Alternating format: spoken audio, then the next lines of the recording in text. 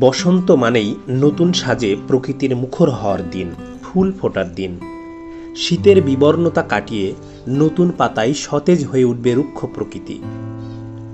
ফাগুনের ঝিরঝিরে বাতাস আর কোকিলের মিষ্টি কুহুতানে মাতাল হয়ে উঠবে ধরণী। যৌবনে আসবে উদ্যমতা। আনন্দ আর উচ্ছ্বাস মুখরতায় ভরে উঠবে মন, প্রাণ। গে উঠবে আকাশে বহিছে প্রেম, নয়নে লাগিল নেশা কারা যে ডাকিল পিছে বসন্ত এসে গেছে। নেশা জাগানিয়া এই সময়ের আর এক মোহ ভালোবাসা দিবস। বিশ্ব ভালোবাসা দিবস ও বাঙালির বসন্তবরণ এলেই যেন মেলার সমারোহ হয় দেশ জুড়ে। বইমেলা বাসন্তী মেলা, পিঠা মেলা, আরও কত নামে কত মেলা। ঠিক তেমনই এক বসন্ত মেলায় আজ আমরা এসেছি কুষ্টিয়ার পৌরসভা চত্বরে। মেলায় বসন্তের বিভিন্ন রকম পিঠা, ফলের আচার, দেশীয় ঐতিহ্যবাহী শাড়ি থ্রি পিস সালোয়ার কামিজ, মেয়েদের তৈরি বিভিন্ন সামগ্রী কসমেটিক্স জুয়েলারি সামগ্রীর স্টল ঘিরে চলছে ক্রেতাদের ভিড়। আজ আমি আপনাদের প্রত্যেকটি স্টল ঘুরে ঘুরে দেখাবো। তাই ভিডিওটি না টেনে সম্পূর্ণ দেখুন।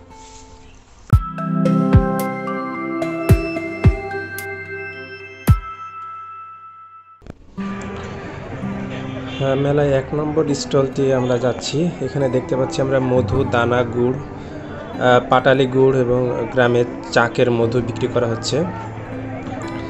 এটা হচ্ছে যে, পাশেই একটা আছে পিঠার দোকান।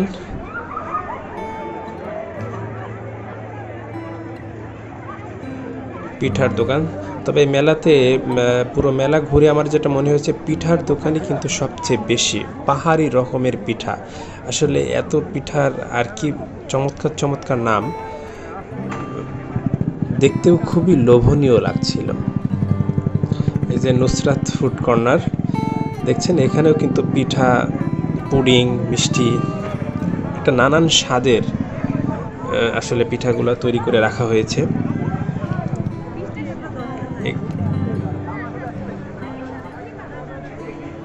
এখানে দেখতে পাচ্ছেন ন্যাচারাল সব ফুড।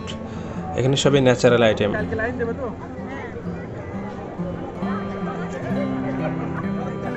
হ্যাঁ দোকানের নাম দেখছেন টেস্ট ইট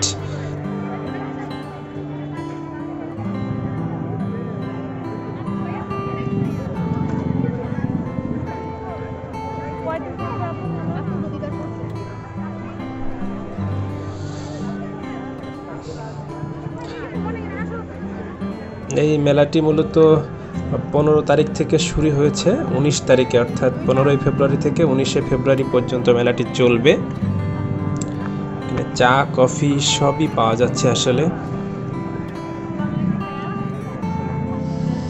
এখানে দেখতে পাচ্ছেন সবই মোটামুটি herbal product.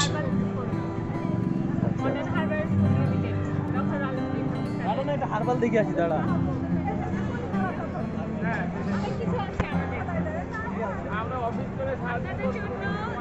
Aira kitchen house, এখানেও পিঠা বিক্রি করছে।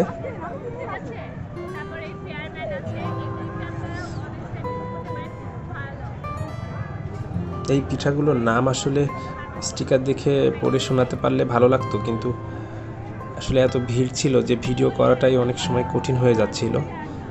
তাই বেশি সময় নিয়ে ভিডিও করা যায়নি। আর আরও সবচেয়ে বড় বিষয় হচ্ছে এই পিঠাগুলোর এত নিত্য নতুন নাম দিয়ে এখানে সাজিয়ে রাখা হয়েছে, কখনো শুনি নাই। Lucky's farm. এখানে দেখেন সবই পিঠা পাটিসাপটা থেকে শুরু করে দেশি পিঠা এবং আসলে এই একই স্বাদের পিঠাগুলো বিভিন্ন ধরনের স্বাদ দিয়ে, বিভিন্ন ধরনের শেপ দিয়ে তৈরি করে রাখা হয়েছে দেখছেন।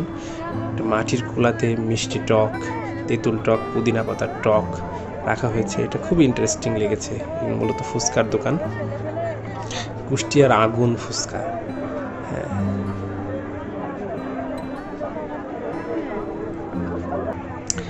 এটা একটা ইসলামিক দোকান। এই ইসলামিক দোকানে দেখেন, বেশ কিছু ইসলামিক বই রয়েছে।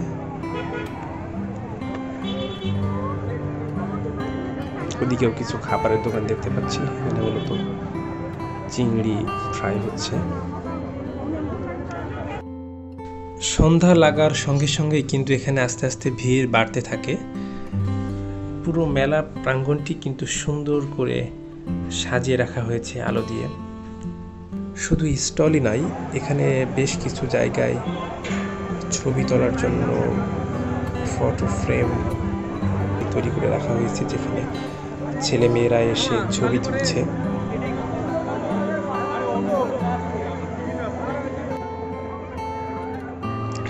এছা- এছাড়াও বাচ্চাদের জন্য রয়েছে এখানে নাগরদোলা সব মেলার মতো এখানেও দেখছি একটি মুক্ত মঞ্চ করা হয়েছে এবং এই মুক্ত মঞ্চেই প্রতিদিন সন্ধ্যার পরে সাংস্কৃতিক অনুষ্ঠান হয়।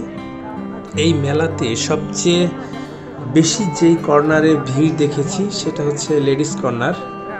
আমরা সেই স্টলগুলো এখন একটু দেখি। এই লেডিস কর্নারের স্টলগুলোতে মেয়েদের হরেক রকমের কাস্টমাইজড পোশাক, ব্যাগ, এগুলো সবই ইউনিক লেগেছে। মূলত হাতের কাজ করা সব পোশাক। দেখতেও খুবই সুন্দর।